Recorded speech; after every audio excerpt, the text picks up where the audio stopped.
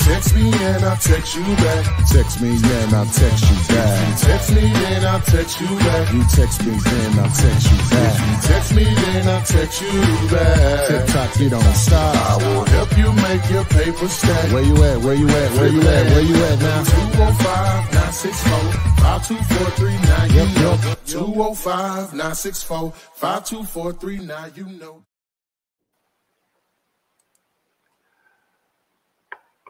Good evening, afternoon. Um, welcome to today's Daily Live. Topic for today is um, how to calculate your assignment fee for wholesaling houses. All right. Now, um, I never, well, I'll get into that later, but that's the topic. We'll get to it. So, we're here to talk about real estate investing with a strong emphasis on wholesaling real estate, which is a low barrier to entry into real estate investing where your cash or credit really, really doesn't matter. It's all about learning the process, the technique, and using that to to make money. Uh, it's great you just use a technique to make money with no money. So we're here to talk about that to answer your questions. We have uh, Miss Kelly uh, here in the uh, Huntsville area.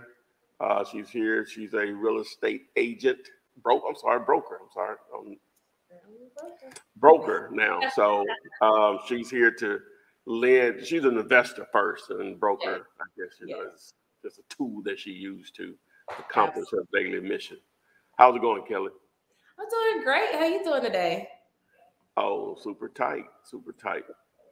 So um, she's going to lend her expert expertise on on the biz. So uh, before we get started, uh, if you want to join us on the live to get uh, pushed to the front of the line, uh, text the, the word Gator and follow the instructions in that in that text. Um, what else I got? Um, want to partner with me, 5050, text those numbers to this number. And that video will explain how that works. It's for this is for houses. Um, mini storage, public and uh, mini storage and self storage. Text the word units, and we'll get to some other stuff. Oh, um, I will do this. Go ahead and do this. If you want the uh, free training, uh, you got props. You sign up through Dealulator.com. And you want us to train you on how we use it on a daily basis for free. Text the word time. This is only just for the, the use of that particular tool. All right. And if you want to access the tool, guess what you need to do? Text the word tool. That's brilliant. Some brilliant stuff in it. So, Genius. so enough of that. We will have more of those coming, but I just want to get those few in, out of the way. And um, do we have any questions yet?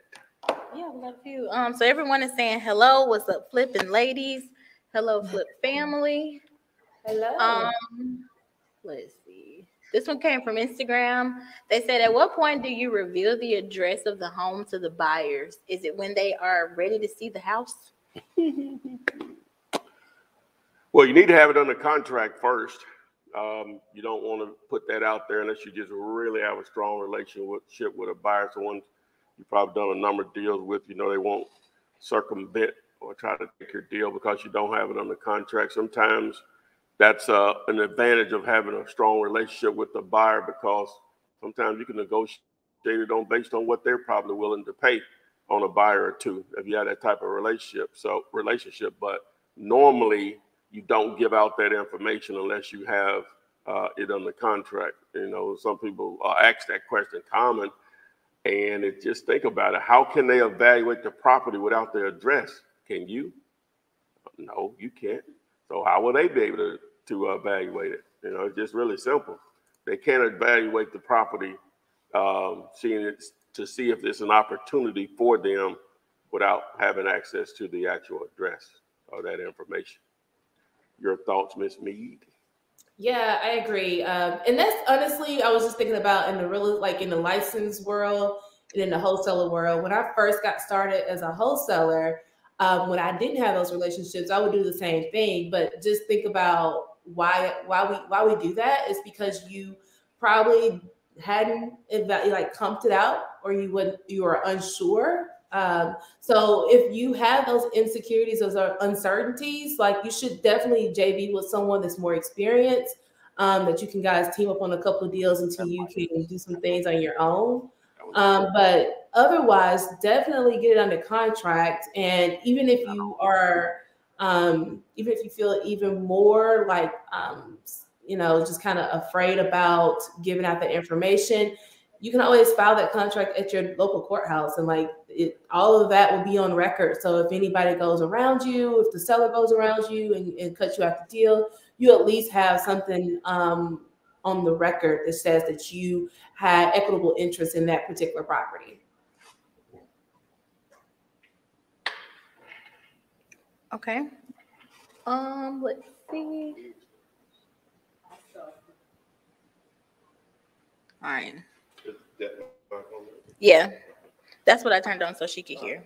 Okay. Um, so this one came from TikTok. It said text messaging or cold calling to get started. Your thoughts, Kelly? Um, I personally do cold calling. Uh, it, only reason why I I don't do text cold text messaging, um, mainly because the regulations are changing all the time. Um, and I mean, you can go through a service that keep that keeps up with those regulations, but for me, um, cold calling seems to be a little bit just more streamlined. Um, and you know, you run through everything, and if anything hits the uh, DNC, um, is is scrubbed. So for me personally, I prefer cold calling. Um, but both of them work. It's just that for me, text messaging just seems the regulations just changed too much to do cold texting. Uh, very valid point. Um, well, I'm a, I'm affiliated with um, uh, and a reseller of batch leads, and you know they they have the staff you know, and the legal team on hand to stay on top of that stuff. So she, like she mentioned, um, you can use a service that stays on top of it. Now, of course, both work. Um, just from doing both of them on a uh, mass level uh, on a daily basis. Um, the response rate um, is going to be, um, in most cases, uh, better with text message because you're just going to get a lot more people to read your messages. Um, and how the numbers play out, it's sort of it, it, they're just different, you know, because you're going to go through quite a few calls versus only sending out maybe 150 to 250 texts because that's really all it takes, uh, whatever. So you may make depending on how many people or who you have making your calls for you, you may make a thousand or two thousand calls a day, and sometimes a lot more depending on your operation. So, uh, and if you're using an automatic dial, there's no way you could just be picking up your smartphone and make that number of calls. It's just, it's just not possible. So, um, but you know, it, it just it's just sort of hard to say. You know, response rate, text messages for for certain. Um, probably reaction in real time per se uh, with cold calling may be a little better. So it's like a trade off with each. She mentioned scrub and explained what it is because I don't think most people understand what it is. Well, you know, people um, a few years back they came up with a uh, some federal um, regulations where people didn't want to be solicited, you know, by businesses. You know, they could be added to what they call a do not call list, and so um, that the phone number would go on to that list. So the services will scrub, I guess, on a daily basis to um, to to prevent you calling those numbers that are on the actual list. So scrubbing. All right. First question on YouTube came from Daniel. He said, "Do you use your contract on commercial deals?" Uh, no, that contract is only um, he's asking, do I use the contract that I give away? Which, if you want to copy that, just text the word contract to the number. But uh, that contract is only used for residential real estate for houses. All right. This one says, I have a deal, but I'm not close. How can I lock up the deal if he doesn't have any internet? Ooh, You want to answer? I, I, I like that question um, because honestly, that deal is probably a deal you're most likely uh, get paid pretty well on.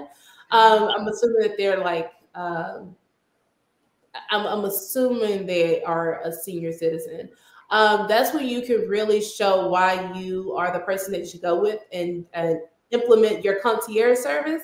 Um, either have someone you can. It's like, uh, do they still have TaskRabbit? Um, but there are different services that you can send someone out there. And if you're not, if you're doing virtually or if you're nearby, you go there yourself and basically have everything ready. Um, even if it's a mobile notary, um, I would actually just contact the mobile notary, even if they're not notarizing anything, and just ask them if they would go and complete this paperwork for them and turn it back into them and just pay them a fee for it, even if they never had to notarize anything. Um, but I would definitely use that as a way to implement your concierge service, and then I'll absolutely get a, a review from them after that after you close the deal. um, what they said over there. Um, oh, okay, yeah, most definitely you dealing with someone that um, I guess they don't do email, they're not local. Um, the old USPS still works, or you can send it FedEx yep. or UPS. You can do that also. Um, and uh, you may want to include um, a way for them to send it back very easily, right? So um, normally, if it's an individual that doesn't have the technology or refuse to use it, then you know that that's a good option too. And obviously, what she said. Um, but the, the, old postal service or FedEx or UPS um, could be good options also. All right. Um, we have somebody in the Gator room. Gator room. um, Victor Douglas. He was on yesterday. I'm about to add him. Hello. What's going on? How y'all doing? Hey. man. Uh, not much. Uh, I just I wanted to, you know, I guess basically kind of tune in just to make sure I, I understood it right. Uh, because I asked a question about showing the address to the buyer. Uh, say for instance, like I said, if I'm advertising on Facebook page and on you know a real estate Facebook page, and they you know they ask for the address, um, or they you know say you know message me about the property. I message to them. I can. It is okay to just go ahead and, and give them the address. Well, I, I, I, guess I might ask a couple vetting questions, but I, you know, you know what I'm saying. I hate. The only reason I said this because I hate like give it to everybody that you know wants me to send them information about the property. Then they kind of go behind my back. I don't know. I guess it's always a possibility, but I'm just saying, you know. I, I guess you could have a conversation with everyone that asks for it, you know, in some form or fashion. If it's done through uh, what Facebook Messenger or text, call. Yeah email or whatever. Um, I guess some form of screening. Um, at the end of the day, they got to address whoever whoever you're speaking with. You know what I'm saying? Just, yeah. No way. Just, just think about it for yourself. How how could you have known that you have an opportunity without the address? That's the yeah. purpose. That's one of the purposes of your contract. Yeah. Making sure yeah. they have to come through you. Yeah, no, I feel you. Okay. Well, not not saying what you're uh, assuming is going to happen can happen. That's part of the business. But you know, for the most part, um, you know, that's people understand that. You know, that's how business done. Because even if even if they go to the seller, then the sellers would have to want to get on board with what they got going on to do it. Now that could possibly blow your deal up and the seller not want to deal with either one of you all. But um, it, it, it's it, I don't think it happens. Or it hadn't happened nothing like this. It hadn't happened to me that much, and most of the people that I've conversated on over the years, it hadn't. I'm trying to think of a time that it's actually happened. Um, they usually, you know, you're talking to them, they they usually don't try and go behind your back, at least from from your experience. Nah, man, just I can't what you. I don't know what else to say. What, what, what no, okay, I appreciate it. You know, I, I think you gave a number out. If you know, if we want to partner with deals in the future, you said what? What is? What's what do you text to? Uh, yeah, you text five zero five 50, 50. Yeah, 50, Okay. 50. All right then. Thank you now. Uh, no problem, man. All right. All right. If you uh, go ahead. Uh, You want me to go ahead? No, go ahead. All right. Um, someone said they have a cash buyer who's interested, but they're gonna invite all the cash buyers just in case. How should they do that? Like, how do you show your property to cash buyers? Not all at once, please. You got it, Karen.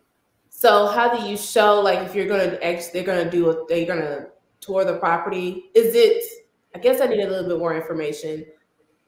How do they show their cash buyers? Is this a property that I'm assuming is you've scheduled a time with either the tenant or the owner and they have vacated the property so that you can conduct you know inspections or to actually show the property? Can do you have a can you give me a little bit more context on how you're like what's their process of how they do showings?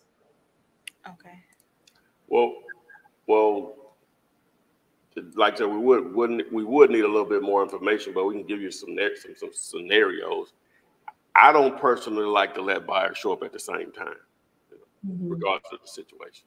Right now, I have been forced a, few times over the years, been doing a long time, where that may be your only opportunity to get them up there or whatever. You got multiple people interested, but ideally, um, I I don't want them to show up at the same time or whatever. That that's just me. And so, uh, because sometimes you know the seller still may be living there, Mhm. renter may be vacant, and sometimes they're just not going to give you access without them being there.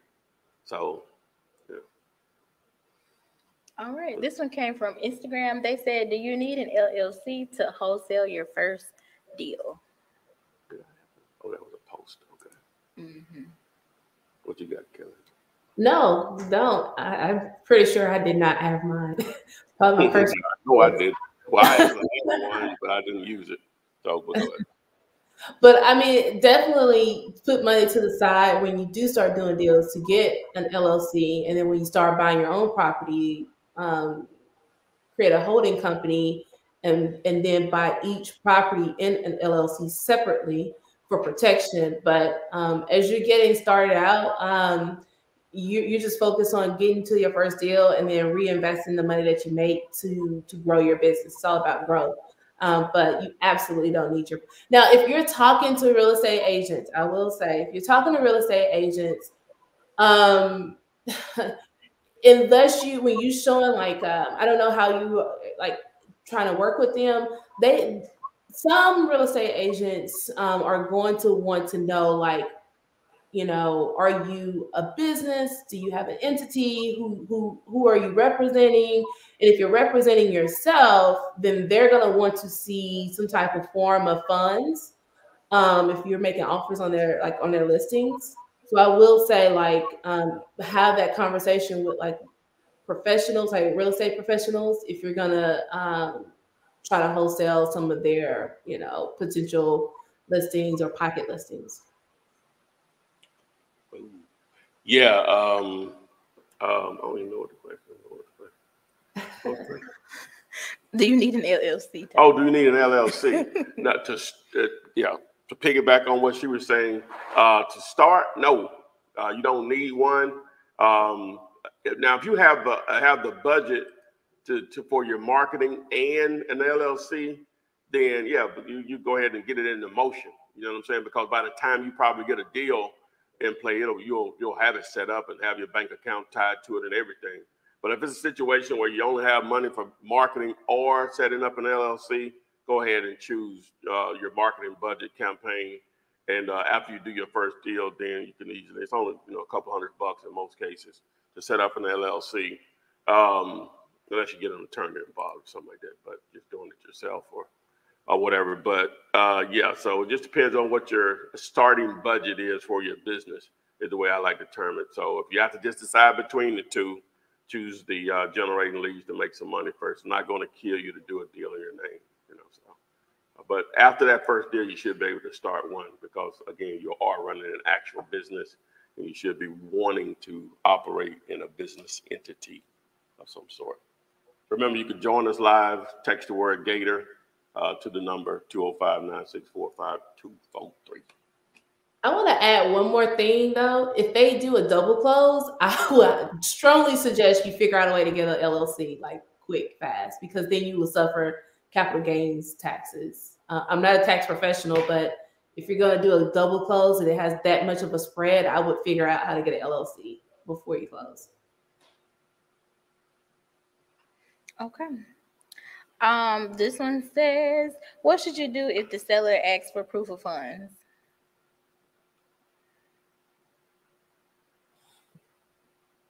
You can go.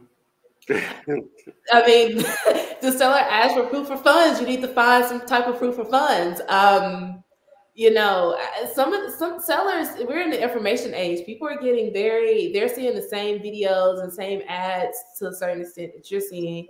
Um, so people are getting um, a lot, sa- lot more savvy in the way that they are even doing their off-market negotiations.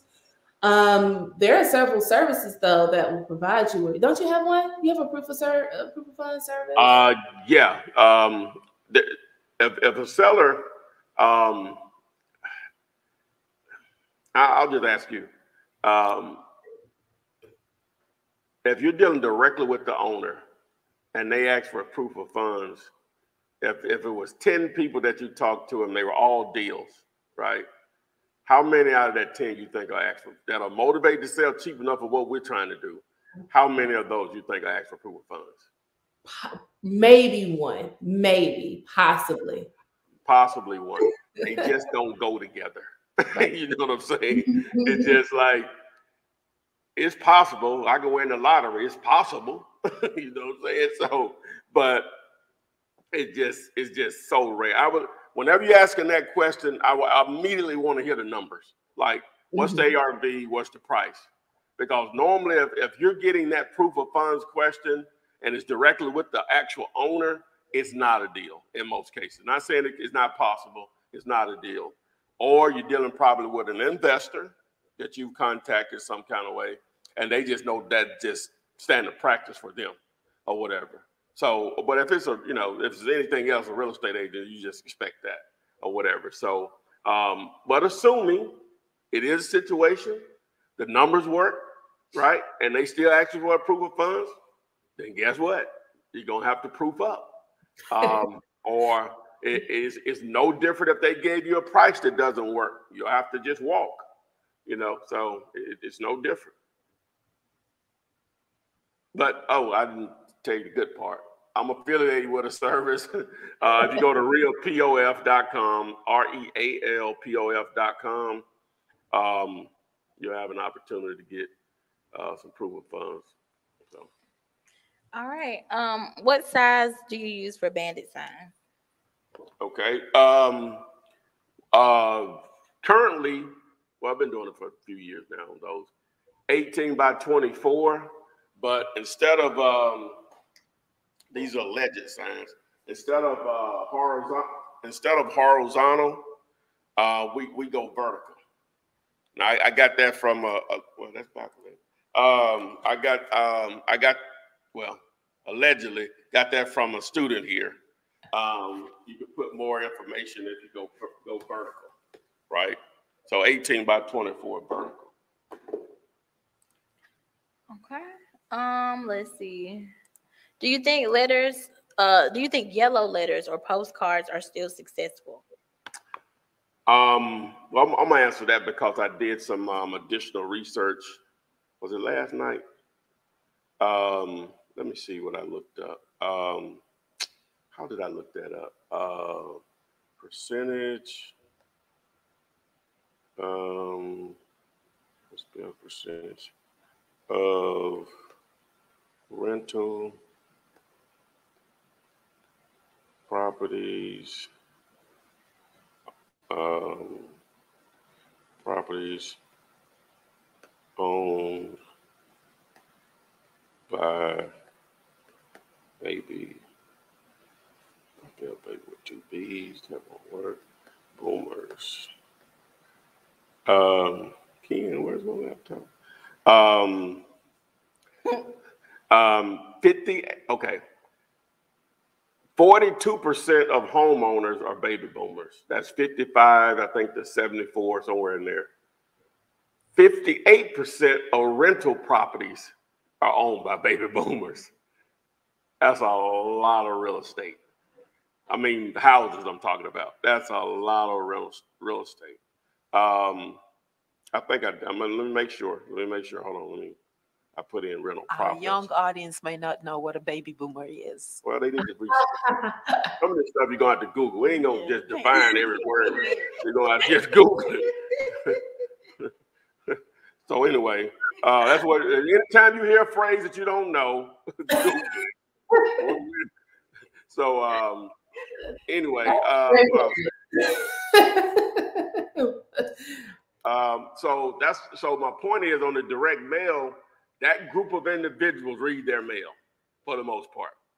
So direct mail can be a highly uh, efficient, well, I'm sorry, highly effective way of generating leads. Only problem with that is, not saying it's a problem, it's very expensive comparably to some of the other methods, right? Um, you have to, be, I don't care what you're doing, be prepared to do it three to six months. Have a budget for it. Don't even start it if you don't have that much money to like whatever it costs you to get it started sometimes it's less like cold calling. The initial setup may be more than what it costs you to maintain it. Same thing with text messaging. Uh, with bandit signs that fee is just going to be the fee or whatever each time you order if you're ordering the same amount. Same thing with direct mail. That fee is going to be the fee you know so if you can't do it for a minimum of three months i'm going to say six don't even start it because you're probably not going to get the bang that you're looking for out of it or whatever. But it can be very effective. One of the things that the owner of the company that I recommend out of St. Louis uh, said to me is that um, whenever you're not doing uh, one form of marketing, not saying you got to do everything because a lot of ways to generate leads, you're always leaving money on the table because someone that'll respond to a cold call may not ever call a bandit sign, or someone that calls a bandit sign may not ever respond to a cold call. And I can go on and on with the different methods. So you always are leaving money on the table when you're not doing a certain amount of money. But so much money on the table, I'll just take this amount and I'm good or whatever. But just understand when you're not doing one of these methods of, of generating leads and whatever else you can think of, you, it's just always money being left on the table because people respond to different methods of receiving your message um, than others. So, uh, Maybe just target baby boomers. what? With the mail-in, the mail-in stuff. Well, well, you can still cold call them and text message. I'm, just saying that that direct mail is it works better from my understanding with them than you know. And then, then they own most of the real estate. Forget about everything else. They own most of the real estate, and so and they're going to have potential issues that. Well, let me just say they own most of the real estate, so that's going to be the biggest target or whatever. So, your thoughts, Kelly? Yeah, I mean, I used to run direct mail campaigns, um, and very, very true. If you're not willing to stick with it for uh, the long haul, because that's really you got to send them at least three to five pieces of mail, um, and you got to get. I- So when I would do it, I would stack my list, so I wouldn't send because it was so expensive uh, to send. It would be with multiple people um, with multiple layers of motivation to sell. Um, and i would i would take that it would have to be at least three motivations levels of motivation to sell.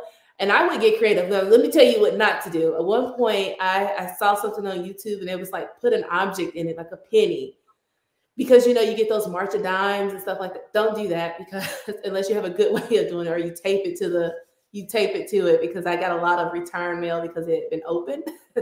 um, I've known people to do like the like the um, like the bubble, like it looks like a package, like a letter package. Um, it'll be like heavy stacks, which can get really expensive, but it'll be just a lot of paperwork of, of their business and the con, you know, uh, and um, like potential offers. So get creative with it, but definitely stack it if you do, so that you will know that this stack of people of leads that you send out as direct mails have a higher potential to convert because they have at least more than one level motivation to sell. All right. Um, this question came from TikTok. They said, um, what's been your best way to gather leads? Is a tax delinquency list um for you a good way? Um, well, it just goes in stages. Um, it just, it just goes in stages. Um, 'cause the leads are just different depending on how they're coming in. Whether it's um, the, the things that we're doing is Facebook, Google AdWords, banner signs, cold calling, text messaging, and sometimes direct mail. That's what I'm talking about because we, we're not consistent with it. So it's almost like you're just throwing money down the, the drain or whatever. Um, probably just right now, uh, the cold calling is working best as far as the number of leads that are being generated. Um, just you know, right now. So, um, but about the tax delinquent leads, um, well, uh, uh, as Kelly said, that's just another list. Um, you would like to think that they may be motivated to sell because they haven't paid the taxes, but that doesn't mean mean that. But it's just like with any other list, you got to be dedicated to it. Um, obviously, that shouldn't be your only uh, source of potential motivation. So, uh, but those work too to answer your question. All right. This one says, where can you find people to team up with? Kelly, what can you find people to team up with? Oh man, I mean, honestly, just about everywhere. Um, obviously, social media. They have so many Facebook groups. Um, you can, I would say, join them and post. Um, tell people that you're looking to team up. Um, people will respond. Um, local meetups. Um, there, there should be um, real estate investing like RIAs or some sort of local meetup. You can go to meetup.com and just like literally Google it. Eventbrite also, um, a lot of virtual events. You can meet people there virtually. Um, but I mean, it's literally anywhere um, that you are socially um, that has any type of social connection, you can meet someone to, to team up with.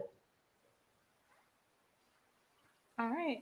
Um, can you wholesale camper RV type mobile homes? Camper RV. Type. Can you wholesale RVs? I guess they basically saying, which that's Mhm. basically an automobile, right? Right. Or, or are they talking about the one that you pull, you know, and you can drop it? I don't know. I It don't matter. I think it still still falls in that category, doesn't it? Yeah, that's just like saying you're selling a car, you know. So it's not really the same thing. Um, and those uh, depreciate like an automobile does. You know, the day you drive it off the lot, you not you can't turn around and they'll give you the same price for it. If you like literally turn around in the parking lot, they're not gonna give you the same what you just paid for it once that paperwork is signed. So so it's a depreciating asset, but you know, so it's relative, but wholesaling it is still it's like selling a car. So however that would work. Yeah, this is kind of where that word wholesale is not as interchangeable as, as it is in like the car business as it is in real estate. Because in the car business, they're gonna want you to pay. You know, you're gonna have to pay. You're gonna have to have some money to get in the game, um, and then you can flip it for and sell it for a higher dollar amount. But it's not like where you write a contract and you assign a contract to someone. Like that. That's not the same. It's more of a like car flip. All right. This one came from Chantel. Um, they said, Hey there, Flip Man. I have an opportunity to get two or three properties for fairly cheap, but they are in a low flying flood zone, low lying flood zone, and were flooded during hurricane, Ida down here in New Orleans.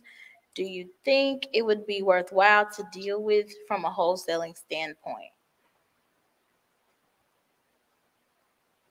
Oh, chief direct that directly me. Um, I would. I, I, seem like flood zones are probably really common down there. I would think. I don't know this. I would think, uh, being that it's below sea level, right? Um, I, know they have the levees and all that stuff, but anyway, um,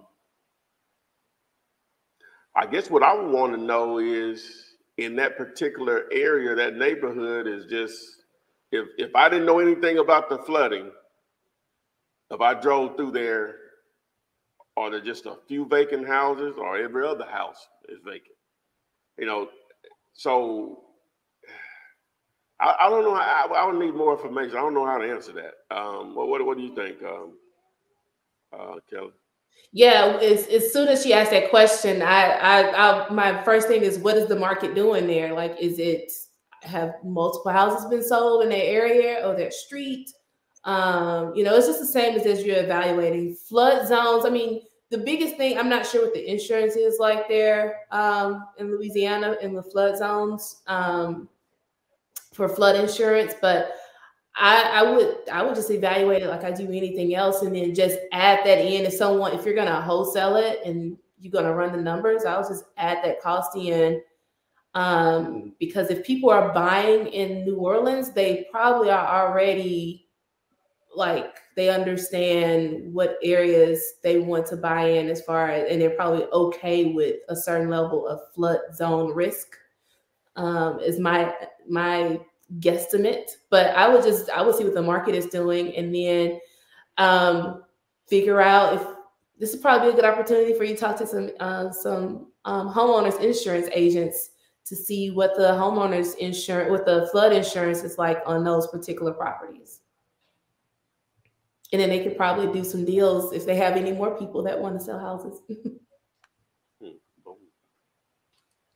All right, this one came from Instagram. We kind of talked about this earlier, but they said, thanks to Flip, I moved to DC. Um, how important is networking at these real estate events for new wholesalers? Kelly? I'm a networker. I run my mouth probably too much. Uh, when I'm in the room, when I know that I'm going to an event, I have a goal um, and I'm going to just, I'm, a, I'm the person who's going to walk up and start talking to you. So it's super important because you never know who you're going to meet. Um, you never know who, um, even even if it's not even if it's not right away, like you never know who who you met, you know, several months down the line that that wants to do business with you because they remembered you from that that uh, that meetup. So it's super important. I would say go in with the goal in mind of who you want to talk to, what you want to talk to them about, but make it authentic, um, make it genuine, and follow up with people after the network event um, as well. All right.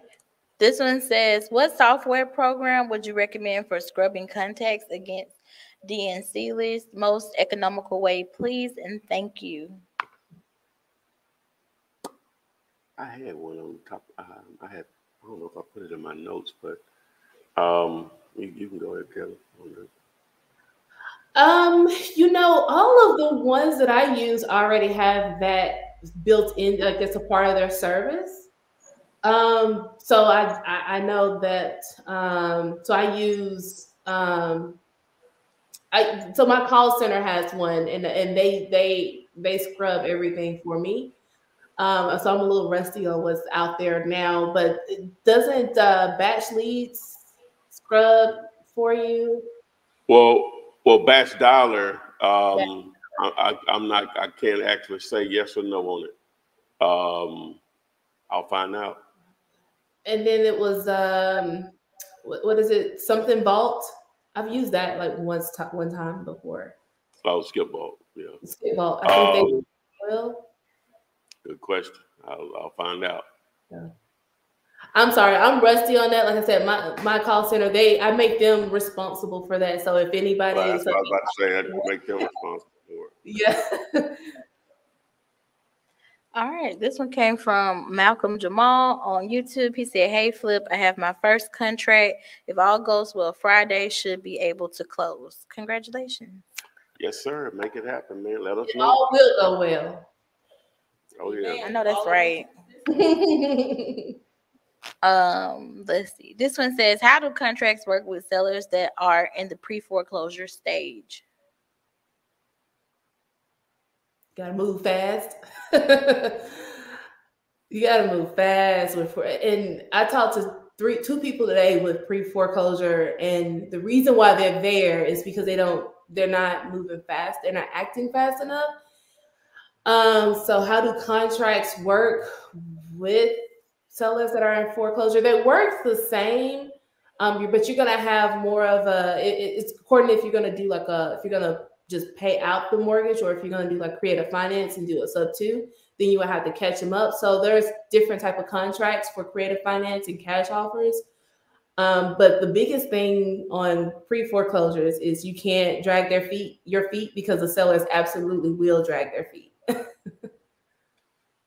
Yeah, um, uh, the thing with pre foreclosures, um, uh, I guess we can somewhat define that. I will define that. Um, is that uh, someone buys a house using uh, some form of financing from a bank or mortgage company or whatever. All right, so they owe them money, so they make it a monthly mortgage payment, you know, house notice, we say. All right, so when you get behind on that, at some point, um, if you continue not to pay them, they're going to start the foreclosure process to take back that asset so they could possibly take back the house, recoup some of their money. Right. And so now you're in a pre, but there's a process to it. They just can't show up and say, well, you ain't paying us. You, you out of here. No, it's a process, a legal process. So that's the pre foreclosure process when they've actually started the foreclosure process. So we call it pre foreclosure. So why is there an opportunity there is because ideally someone should be motivated to sell a piece of real estate cheap, right? Oh, I'm sorry, I'm sorry. They should be motivated to sell. It doesn't mean they want to sell it cheap, but we would assume they want to do whatever it takes to get out of that situation. Now, the only reason foreclosures end, but not the only reason, but one of the main reasons that foreclosures end up being an actual foreclosure is because a lot of people either have just given up, don't care, don't want to fool with it anymore, or a lot of people just wait too long because they think money is going to fall out of the sky for whatever however they believe, and it doesn't happen. And so, and so because they're being reached out by uh, tons of people trying to get them to do something with them. Now, if it's a pre-foreclosure, and we're in the equity business, if it's a pre-foreclosure and the ARV, meaning what the house will appraise for an extra condition, if it's worth worth three hundred thousand dollars and they only owe seventy, that's a lot of equity. That's two hundred and thirty thousand dollars in equity. That's the difference between three hundred thousand and seventy thousand. So you have a lot to play with, and there may be an opportunity, even if they said they wanted one fifty, meaning they'll pay off the loan at seven and put the difference of eighty thousand in their pocket there's still to be $150,000 that'll play with, depending on the con- condition that you could possibly wholesale. But let's flip that. It's worth 300, but they owe 280. There's nothing there. There's only $20,000 equity there. As far as a wholesale deal, there's no opportunity there. So that's where you get into what they call a short sale process. And that's where the, the, the person, the, the owner goes back to the bank and ask them for a discount because they can't afford to pay it anymore? Can they try to sell it because and will they discount it to try to sell it faster? That's where the short sale comes in. So the lender takes you through a process that could easily take three months to four months just to give you a decision on well, if they go through the process, they've decided to do it for the most part to come back with a, a dis, the discounted amount that they would give you off that 280. So you may wait those three months, four months, and they come back and say, yeah, we'll discount it. We'll discount down to 265. That's not a discount. That's not a discount. So some people play that game and are highly successful at it, right? They'll have so many pre-foreclosures going through that enough of them will hit, even though most of them don't, that it's worth their while to just just run that uh, run their operation around that. All right, now, but they could easily come back and say you, you owe 280. Yeah, we'll accept 170. Okay, okay, now we have something. You know, uh, again, depending on the condition of the property and assuming the uh, seller will let you have it at 170. So that's what a pre-foreclosure thing is. With us, we don't really pursue them. If it comes our way through our just normal marketing, then so be it. If the equity is there, boom. If not, I, I normally don't. I normally don't go any further than that. You can always do subject twos and all that stuff, but I'm just talking in terms of wholesaling. If the if the equity is not already there and they're not willing to give it up, uh, I'm generally not not not going to fool with it. That that's just me now. Again, some people make a lot of money just targeting pre foreclosures or whatever. So. All right. So we got two from TikTok.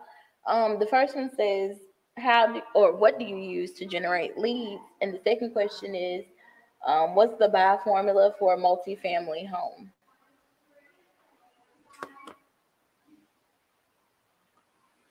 What was the first question? What do What do you you use? use to generate leads? What What do we use to do what? Generate lead. We, we answered that already, didn't we? That part. Um, They asked what was the best way of generating it. We sort of, mhm. yeah. Um, okay, well, the second question is what's the buy formula for a multifamily home? The floor, Kelly. All right, I so- feel like I want to give this one to you. I feel like you're gonna have the uh, the the best answer for it. When they, they say a multi-family property, yeah. what's the, well, how many units are we talking about? Um, that factors in, uh, five units or more are considered commercial. Anything below that is still residential. So the first thing you'll do if it's four units, two to four units, you see if any other properties have sold a similar type, you know, with, within, you know, within that area of any decent distance.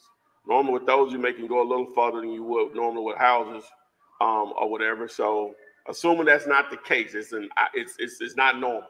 A fourplex in that area is not normal. So now it's just going to be, it's going to boil down to the income it's producing, right?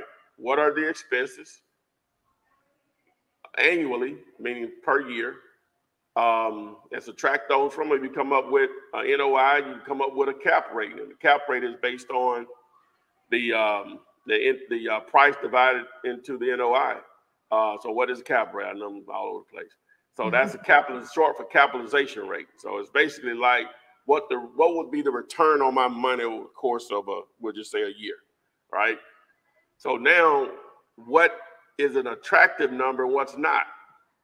And that's going to depend on you and it's going to depend on the area. You can call around and that's when the networking with uh, agents and brokers may come into play to see what a retail cap rate is in that area. Um, and some people would do it cash on cash return. We get we can get go just on and on with this stuff. But with me, what I'm going to look at, if I'm just going to evaluate something like that, um, four units, how much are they renting for? Condition, what are the expenses? Which expenses normally not going to be that much. What utilities are are they responsible for? The, the taxes and insurance is part of the expense, but I want to know what the taxes and insurance are on that small small building, and then from there, I'm going to base it on well, how much do you want? Well, you still have to take in the condition of the property, assuming that it's all filled. You still taking the condition of the property, uh, how they heated and cooled, um, uh, the age of the roof, all of that are factor in. So from that point, once I have those numbers, now I'm going to see well, are are they collecting that market rent, meaning what the market can bear for two one or one one? Well, you need to know your unit mix in them, but your two ones, one one, three twos, whatever the unit mix is there, and if if if if I do the numbers and it's over ten percent, I'm number one. I'm gonna take a hard look at it, and from there, depending on the area of town, ten percent may be uh, the norm. So now you got to go to the next level, maybe 15%. And because that's if I'm talking in terms of wholesaling, now I'm trying to make it attractive for someone where it could obviously cash flow with the purchase. If any renovations are needed, obviously my fee, and them actually cash flowing on the property. And I, I try to keep people above 10% if I'm gonna do something in uh, we'll just say a D area. C area, you can go down below that. Uh, well, I, at a C area, I still want to be double digits. In a B area, uh, you're definitely going to probably be double below double D. In A, I, I've never even did one in the A area, so I don't even know.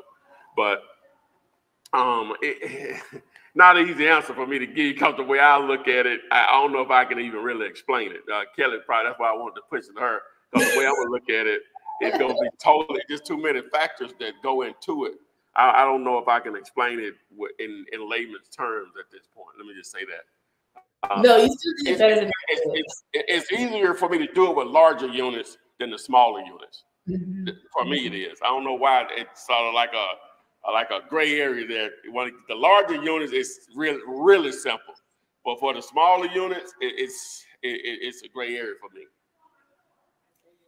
and, and, and just to add, it's super tough because like right now in Hunt, some areas of Huntsville that are C and D areas, you get a cap rate of seven percent.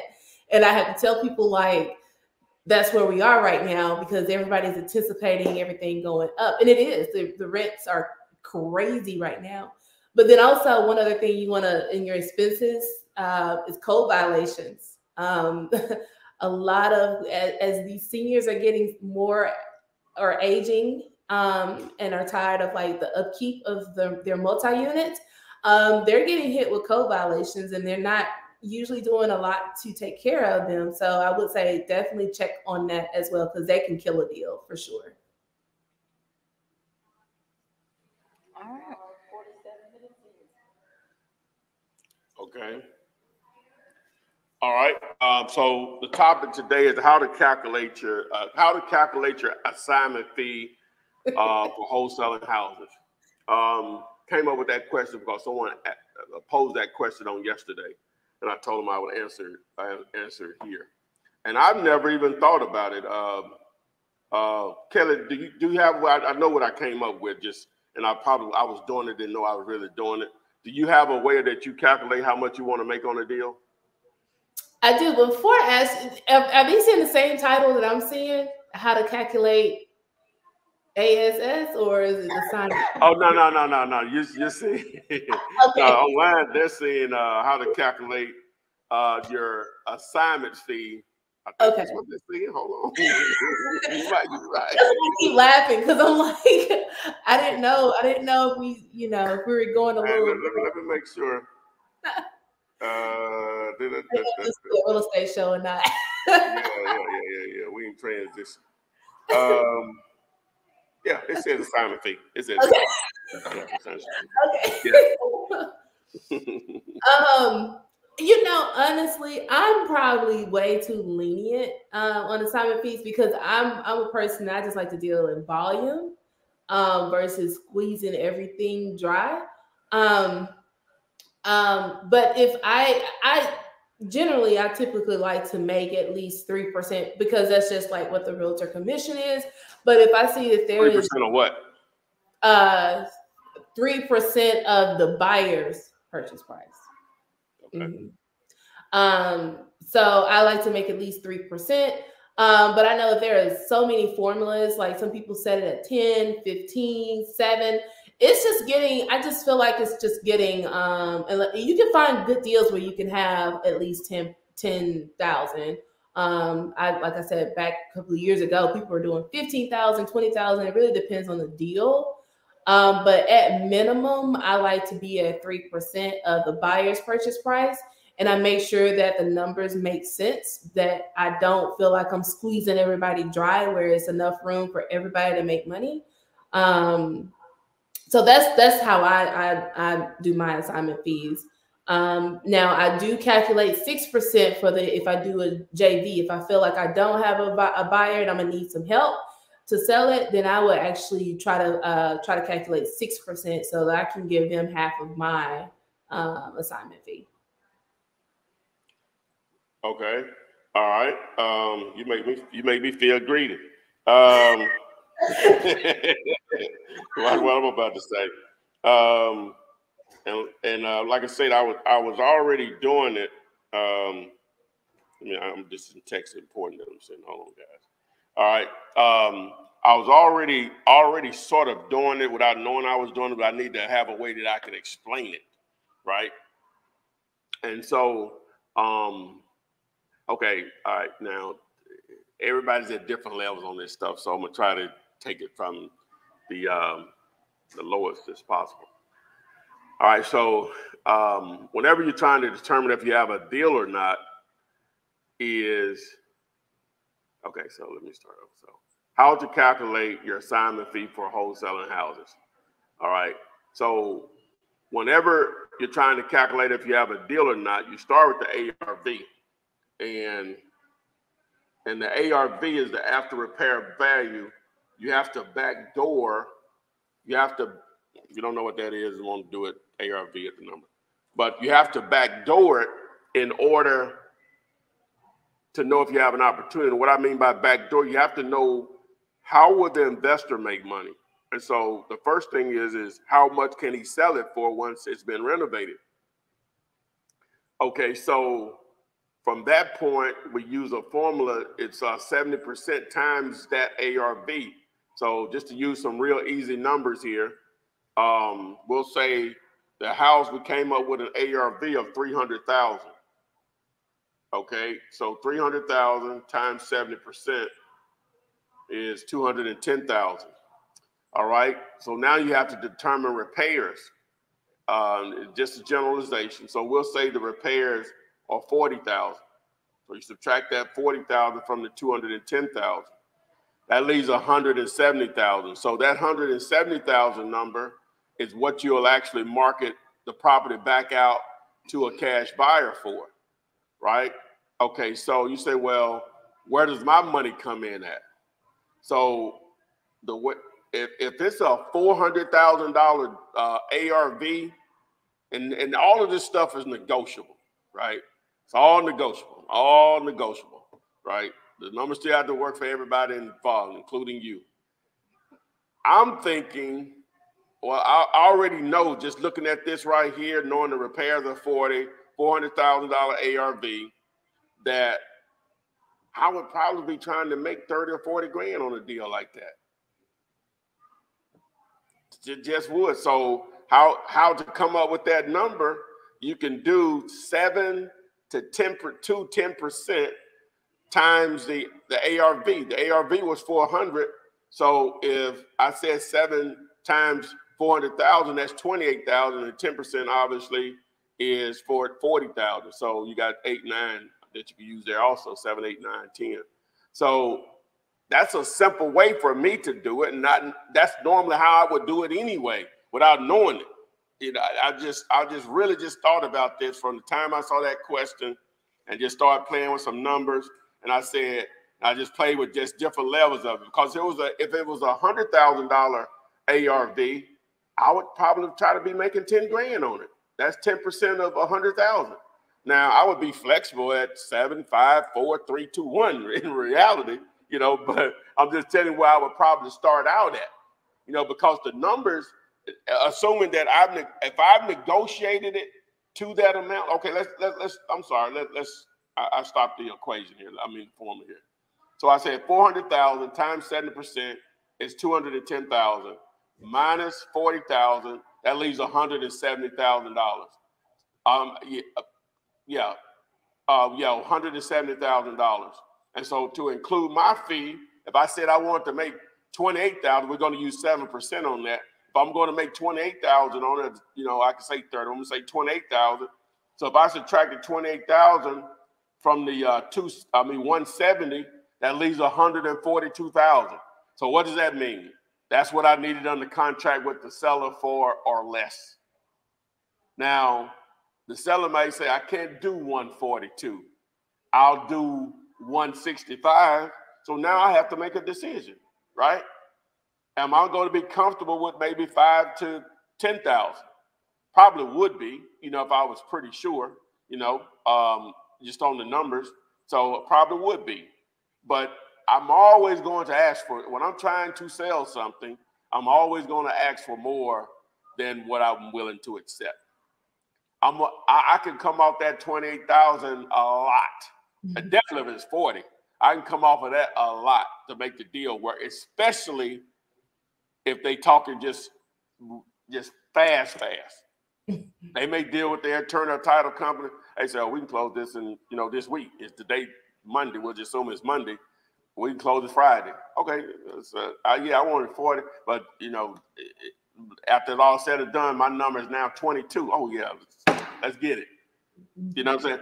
if, especially if it's somebody I've never dealt with before and they can close that fast, I'm going to put a premium on that itself. If, if that's normally how they do business and they close deals in four or five days, which is not the norm, I can just say that, um, then I'm to put a premium on that. And I may take on that initial uh, deal, I may take a little haircut. So seven to 10% of the ARV is is just a a number that you can use as a as a uh, a foundation or I guess a uh, what's the word I'm looking for? Uh, a starting point on where you think you want, how much money you think you want to make on a deal. Again, it's all negotiable. Kelly says she's comfortable with three percent on what the buyer would pay.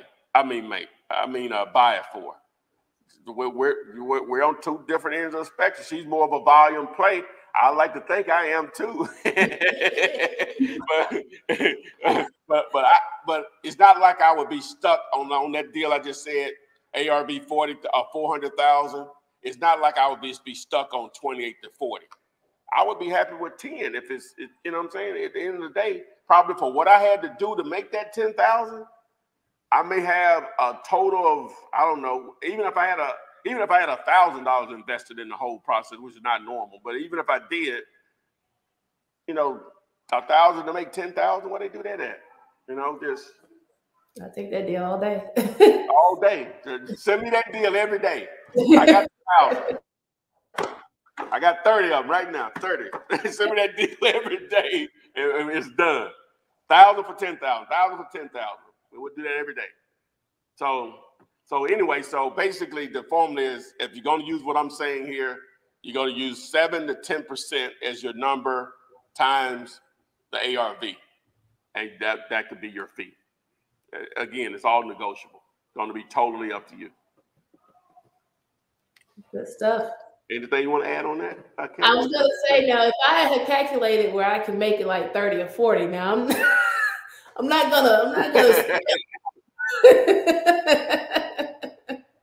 hey, well, you send me your deals. but but but well, I say that, but but you're going to negotiate based on. Yes, I that, that's part of why we're talking about this because if you go into my calculator on Dealulator.com and you get to the part of it where it says the wholesaler's profit, then you if you're just going to use it based on the seven to ten percent on ARV, then you're just going to automatically plug that that number in, right? And I may change the calculator to do that and still leave an option where you can edit it or whatever. But um, so that's going to be totally up to you. Again, there's a lot of approach it. There's a lot of ways to approach it, but that's how I've just naturally done it. And just last night, I actually just thought about it where I could explain it in just raw numbers on how you could come up with it. Good stuff. So. Um, um, who? Oh no, that's Ken. She, okay. she gonna handle Just making sure. Um, okay, I got a lot of questions on here, so I'm just gonna like randomly pick okay, some. Yeah, yeah. Um, let's see. This one says, "How many bandos is too many if you're driving for dollars, looking for a market worth making offers?" How many abandoned properties? Yes. How many are too many, Kelly? Um, how many are too many? You know, I've never been asked that question. If I drive down the street and there's a, I, I don't, I don't even know if I have a number for it uh, because it depends on what the where the street is. Um, and like, like if it's in an urban area or more of a suburban area. Um, but it I go back to where the market is. I want to know how many have sold in that area where it makes sense. But if there is more than like four or five, and I'm just giving like say for instance, it's in an urban area where houses are closer to each other, and there's about usually usually about ten houses a block, and a third of those houses are abandoned. I'm probably like, uh, because you still want to pick the prettiest. You want to buy the ugliest house on the prettiest street still um, but if it's like three, if it's three out of ten, if a third of the houses are of that street is vacant, I'm probably gonna wonder why. I need to see some containers, some builders, somebody knocking down houses and building up stuff for me to feel more confident. Um, yeah, so yeah, that's a big thing because the, the way I also look at it, uh, you're still gonna look and see how much activity is in that area. Number one, like you said, but um, it, there's different levels of that because you could be on a street where there may be four or five, but you know the street still looks good. Everybody keeps their lawn up, even you know. Uh, well, a lot of times you can't tell that they're vacant because the lawns are not kept up. So, um, but if everybody else is keeping their lines up and just those four or five houses are vacant, which is a lot on a block, then that may be something I consider. But if it's trashy, You know, even the ones, the people that live there, they don't care. Cars parked out the front with a jack under and all that crazy mess, mama hanging out, shirts off. No, you know what I'm saying? Not with that many vacant houses on there. Not saying I wouldn't do deals in what I just explained. If every house is filled, that means a lot of activity going on in there. But if every other house vacant, then you got that other layer of stuff going on. No, no, because that's what your investors going to see when they roll up, right? Not saying that we still want some investors love that kind of stuff because they know they can find some really cheap real estate and they they have the wherewithal to manage those type of properties. But generally speaking, if it's just like just a there's a, a obvious number of vacant houses on the street, and you got other things going on, it, it makes it tough. It, it, just makes it tough. But uh, but again, the first thing is I'll probably just pull over, see pull up an address there, and see how many recent sales have been in that area. If it's still a lot of sales in there, hey, I had to let what I'm thinking go because it's, it's going down in this area mm-hmm. or whatever. But uh, you just have to look at the numbers. It's still just going to boil down to the number. That doesn't scare me off. It just normally that they don't work together. You know what I'm saying? You'll see that, and it just might not be enough activity in there for the headache. All right, this one says, um, "How do you like car bandit signs versus the regular ones?" What talking about this? Mm-hmm. Like, which ones do you think is better? Okay, well, well, let's just think about it. So we got these, right?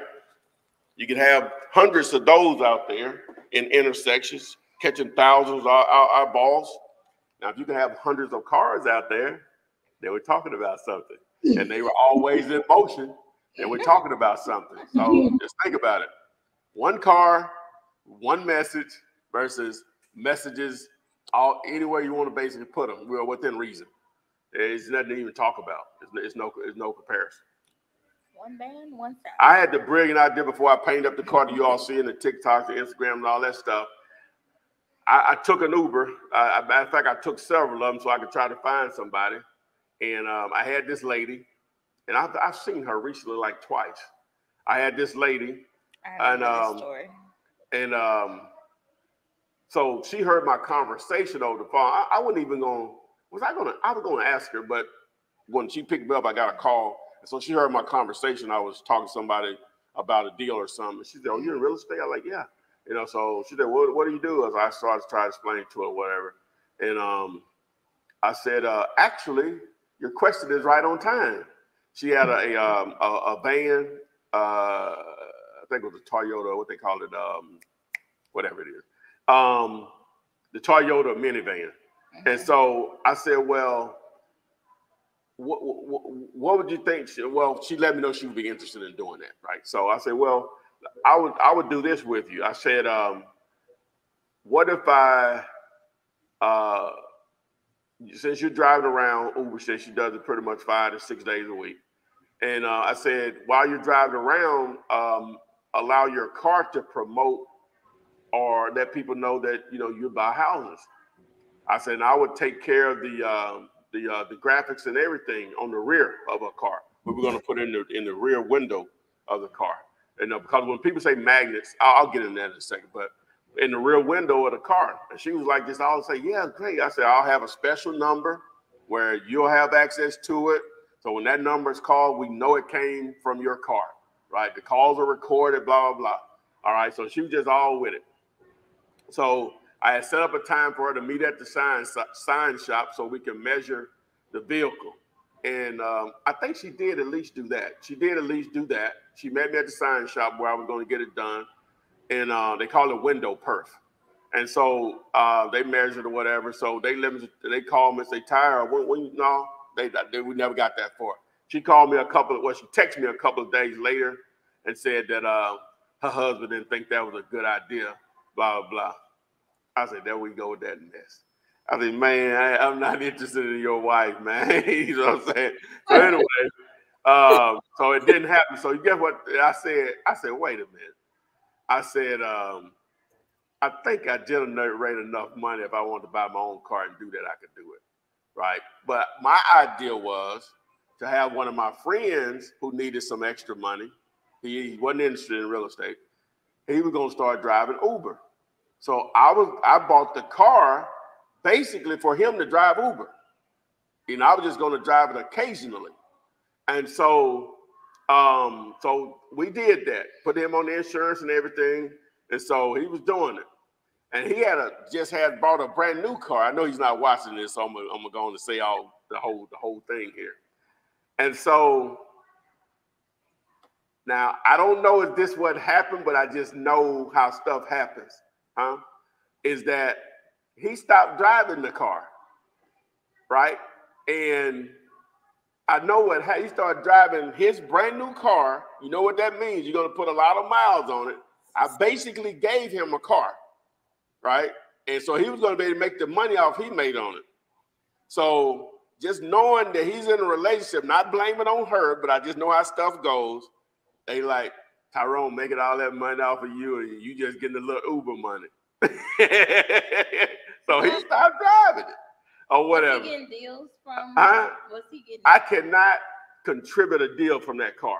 oh, so he wasn't making no money. He And making had- no money off you him. know, He was driving a car for free. The driver had a basically a free A car. free car. Yeah. Dumb.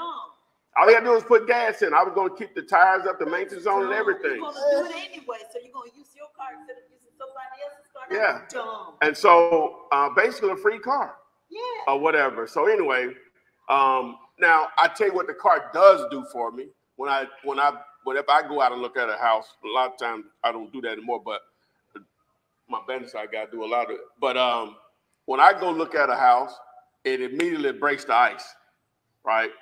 Um, they know I'm dead serious about whatever we're about to do with a house. Of. If it if it does nothing else, it does that. Now I've had people. Now I, I'm not saying the call had the car hadn't generated leads. I can't contribute a deal to it Mhm. outside of what happens when I pull up on from one of the other lead generation when I pull up in the car or Yeah. Whatever. So anyway, Someone on here said um they have 50 car bandit signs being made and they're gonna get them on 50 cars. Um, and then they were asking, what do you think the probability of me well a now deal? well now well, okay I'm glad you said that. Okay, I'm gonna go in. And I'm, I forgot about that part. So they're talking about car magnets. I'm assuming. Okay. All right. See, the thing with car magnets, um, your focus, if you're going to put signage on a vehicle, on a vehicle, the rear has to be the priority. Now, all cars are not designed equally, and so the magnetic area in the rear may not exist on some cars where it's perfect on others, but the window is always in play, and you can do window perf, like you know, or whatever. So, um, that's what I would recommend because if you have a car magnet, if I'm driving on the freeway at 70 miles an hour and you have a car magnet on your car, I can't, I, I don't have time to see it or whatever.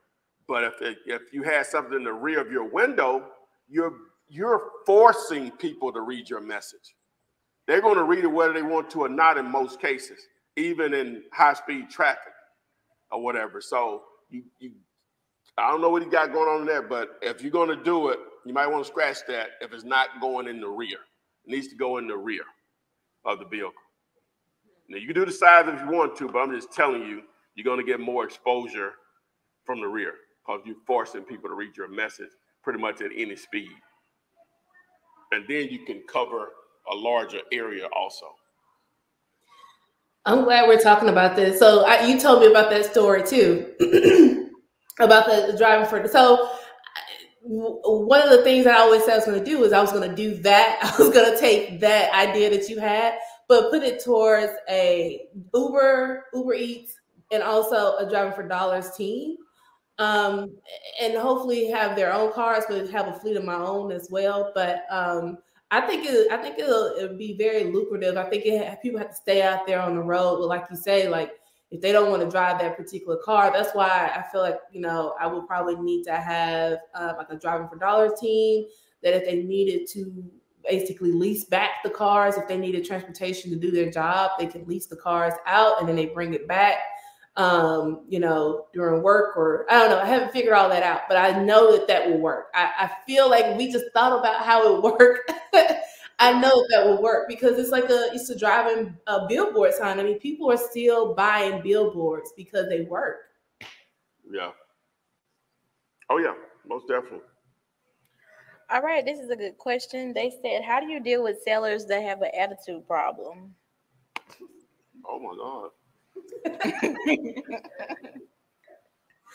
Um, you know, um, you can't take people. I mean, if they're in distress, um, they probably have re- they probably something else in their life is probably you know other than their house that's making them feel like you know everything is going wrong in their life. And sometimes people just have an attitude problem. It's just you know you deal with I I don't know I I kind of mimic personality, so I don't get disrespectful. But if they are sarcastic, I'll I'll be sarcastic back uh, with them, and sometimes it makes them feel comfortable. Um, if they feel like you're too nice, they feel like they can't connect with you. so I don't know what the attitude problem would be. If they want to sell their house, though, they're going to talk to you. I mean, so Kelly, so you're telling me you're nice, nasty. Oh, oh, I can very much be nice nasty. my thing is, you, you wanted because in my call center, you wanted me to call you. You know, you wanted me to call you back. And if you got me on the line, if you're gonna be have an attitude, then we can, you know, I'm a, I know that that's how you communicate best, is what you're telling me.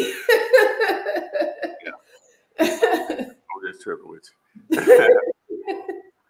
Ow, we've been rolling. Um, Kelly, if you want to put out your uh, your handles or your social media. Yeah, yeah, you can follow me on social media on Instagram at Kels K E L S A L L W A Y S on Instagram. Um, and they'll basically take you to everywhere. And if you want to get in contact with me, I'm gonna. I have. I actually have a text number now, so I don't know it by heart. That's that's horrible, but I will have the text number on Instagram here in just a second that you can text me um, and ask me any questions that you have, especially if you um, need to know how to deal with a real estate agent when doing your transaction. Oh, all right, guys. So um, what I got here? Um, I think I went through all the stuff in the beginning. Oh, but yeah, I forgot to do the GD. If uh, you are having trouble figuring out what a great deal, this is why most real estate uh, investors or wholesalers fail, and that they simply never figure out what a great deal is. So text the text the letters GD to the number. Need a driving for dollars tool, text D for D to the number.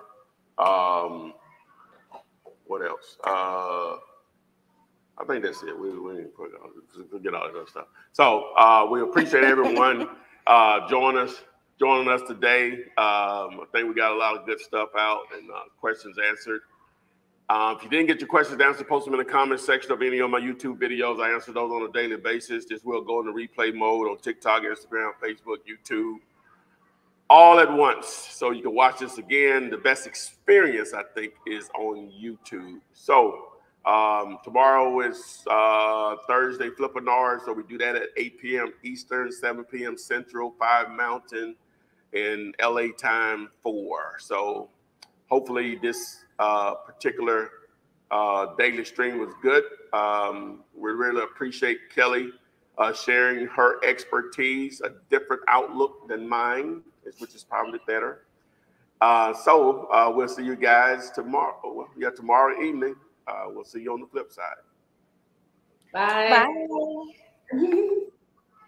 Text me and I'll text you back. Text me, and I'll text you back. Text me and I'll text you back. You text me, then I'll text you back. Text me then I'll text you back. TikTok, you don't stop. I will help you make your paper stack. Where you at? Where you at? Where you at? Where you at now? 205 964 5243 Yep, yep. 205 964